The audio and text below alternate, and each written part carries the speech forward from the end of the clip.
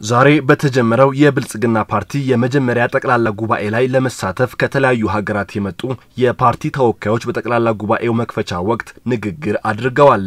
110 ዓመታትን ያስቆጠረውን የደቡብ አፍሪካውን ገዢ ፓርቲ አፍሪካን ናሽናል ኮንግረስ ኤኤንሲ በመወከል ንግግር ያደረጉት የፓርቲው ስራ አስፈጻሚ ኮሚቴ አባል አምባሳደር ኤክባል ጃክፓይ ብልጽግና ፓርቲ የተሳካ ጠቅላላ ጉባኤ እንዲያካሂድ ኤኤንሲ ፓርቲ መልካም ምኞቱ እንደሆነም ገልጸዋል። Wishes the Prosperity Party a successful ዛሬ በፓርቲው ፕሬዝደንትና በጠቅላይ ሚኒስትር ዶክተር አብይ አህመድ በይፋ የተጀመረው ይህ የብልጽግና ፓርቲ ጠቅላላ ጉባኤ ስኬታማ እንዲሆን የደቡብ አፍሪካው አፍሪካን ናሽናል ኮንግረስ ፓርቲ ምኞቱን ይገልጻል።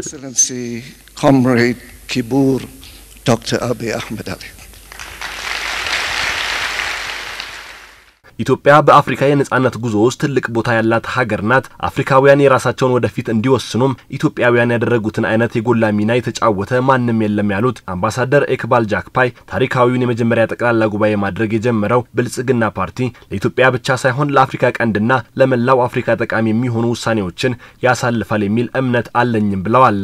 The state of development of Ethiopia, Africa's second most populous country, በብልጽግና ፓርቲ አመራር ዘመን በኢትዮጵያ የታዩ ለውጦችን የሚያስቀጥሉና ሀገሪቱ የተሻለ እድገት እንደምታስመዘግብ የሚያግዙ ታሪካዊ ውሳኔዎች በዚህ ጉባኤ ላይ ይተላለፋሉ የሚል እምነት አለኝ።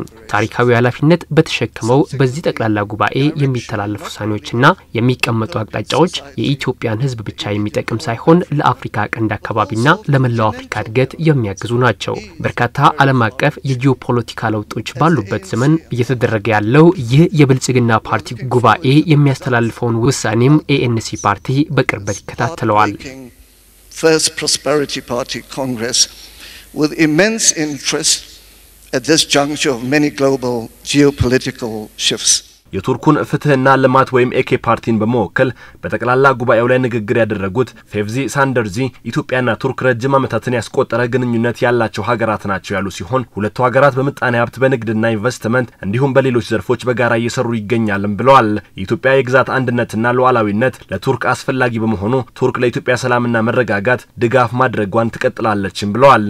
Ethiopia's peace, tranquility, territorial integrity and stability are important for Turkey. የኢትዮጵያ ሰላም፣ የግዛት አንድነትና መረጋጋት ለቱርክ በጣም ጠቃሚ ነው። ነጻነቷን ለረጅም ዓመታት አስጠብቃ የቆየችው ኢትዮጵያም ያጋጠማትን ችግሮች በሰላማዊ መንገድ በራሷ የመፍታት አቅም አላት ብለን እናምናለን።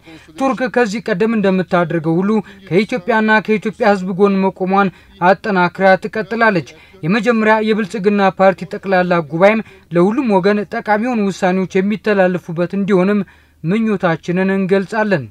I wish the first Congress of the Prosperity Party to be, bene- to be beneficial for all participants and I extend my love and respect to Mr. High Excellency Prime Minister Abiy Ahmed Ali, esteemed delegates and all participants. Thank you very much.